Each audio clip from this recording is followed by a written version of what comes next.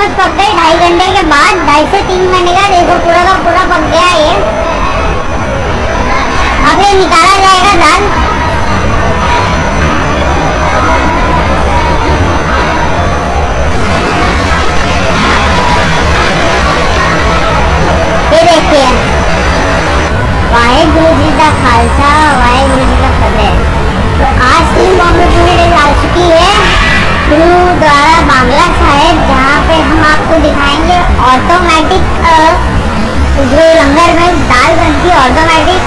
से दाल कैसे बनती है? हाइजीन पूरे के पूरे हाइजीन तरीके से। तो जैसे कि आप लोग देख सकते हो, यहाँ पे ये सब सारे कंटेनर इनको बॉयलर कहा जाता है बॉयलर और कंटेनर तो और यहाँ पे सब्ज़ियाँ पकती है यहाँ पे रोटियाँ, और वहाँ पे ऑटोमेटिक रोटियाँ। तो ये देखिए, यहाँ से दाल लिया जा रहा है। अब ये जो शोरूम है, जैसे मैं आपको बताया हुआ रोटी लंदन की वीडियो में, कि वहाँ पे लोग दान करते हैं, और यहाँ पे सब आ जाता है स्टोर तो ये स्टोर रूम से यहाँ से दाल लाया जाएगा और ये यहाँ जाएगा ऑटोमेटिक किचन में। ये देखिए, अभी दाल लाया जा रहा है। इस बॉयलर में डाला जाएगा और आप लोग देख सकते हो, ये बॉयलर में इन्होंने गर्म पानी ऑलरेडी गर्म होने में लगा दिया। कम से कम आधा घंटे से पानी यहाँ पे पानी गर्म ही हो रहा था। तो यहाँ पे जाएगा ये दाल। स्कूल से दाल ला के लाया गया और यहाँ पे अब हो जाएगा वॉशिंग के लिए। तो ये दाल जाएगी वॉशिंग के लिए।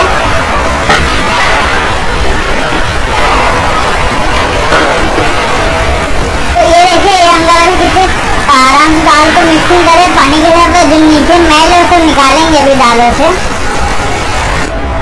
तो ये देखिए, ये कम से कम पचास किलो दाल होगी अंदर। साठ किलो दाल तैयार हो गई धुल के दोनों को मिला के साठ के बाद खुशबू तैयार हो गई और ये अब जाएगी बॉयलर में यहाँ से। तो ये देखिए दाल ले ले जाया जा रहा है। अब वो जाएगी बॉयलर में। ये देखिए, ये जो इनका बॉयलर इसको कहा जाता है, जो कुकर होता है, ये इनका बॉयलर है। अब इसमें ये जाएगी, कम से कम पच्चीस किलो दाल पड़ रही है इसमें। और इसमें ऑलरेडी गर्म पानी है। तो ये देखिए।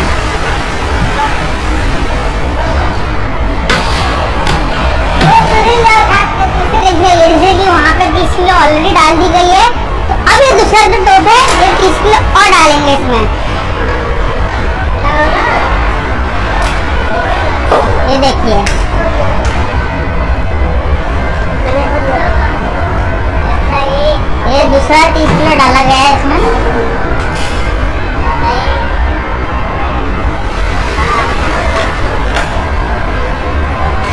दूसरा पीस किलो डाल दिया पूरा का पूरा। दाल ले जा दाल के लिए हल्दी और नमक मसाला ले ले जाया जा रहा है। और ये अब इसमें पड़ेगा जो बॉयलर में आपको दिखाया था, ये बॉयलर में पड़ेगा। ये देखिए, दो किलो दाल, दो किलो नमक। ढाई किलो नमक जाएगा। आधा किलो और। ये हल्दी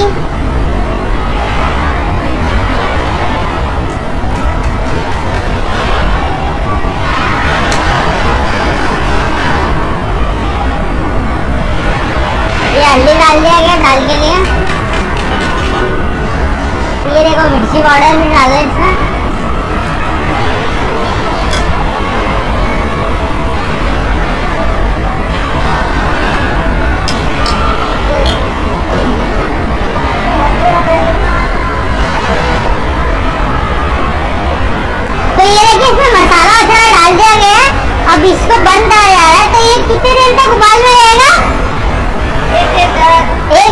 पे मोबाइल रखेंगे फिर इसके अंदर से ऑटोमेटिक मशीन चलने लगेगी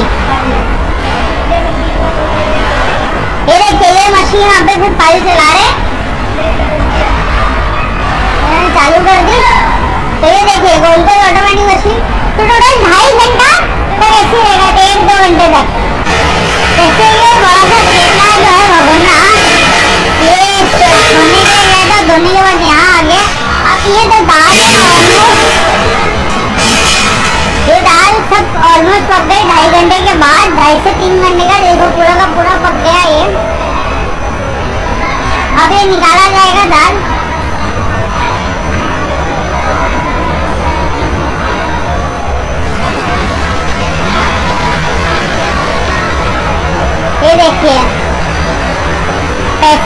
दाल रेडी हो गई, निकालने के बाद।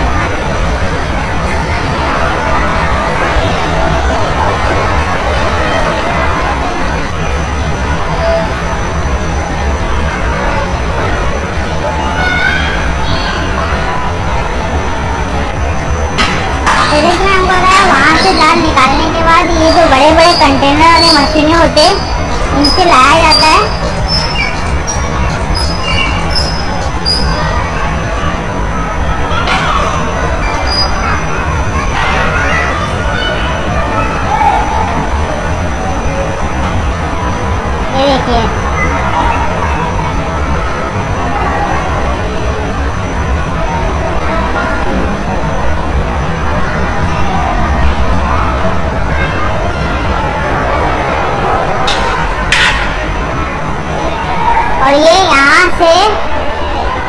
सब होता है। यहाँ से, यहाँ पे जैसे लोग सेवादारी करने के लिए लोग आते हैं, यहाँ पर सेवा होते होते यहाँ से लोग बाल्टी में भर, भरा जाता है और ये वहाँ सेवाघर में जाता है के टाइम चौबीस घंटा रहता है। और ये तड़का, अब ये पड़ता है दालों में। और इसीलिए दाल का स्वाद आ जाता है ना, वो काफ़ी अलग टाइप का स्वाद और स्वादिष्ट होता है। तो ये देखिए, ये तड़का है फाइनली तो ये हमारी पूरी दाल रेडी हो गई। तो आप लोगों ने देख लिया ऑटोमेटिक दाल किस तरह से तैयार होती है। अगर आपको ये वीडियो पसंद आया हो तो आप हमें सपोर्ट करना। और ये वीडियो को लाइक कीजिए और दोस्तों दोस्तों को बताइए कि इंडिया में गुरुद्वारा बांग्ला साहब में खाना और लंगर कैसे बन, तैयार होता है, कैसे बनता है। यहाँ पे रोज लाखों लोगों को खाना खिलाया जाता है। Thank you for the watching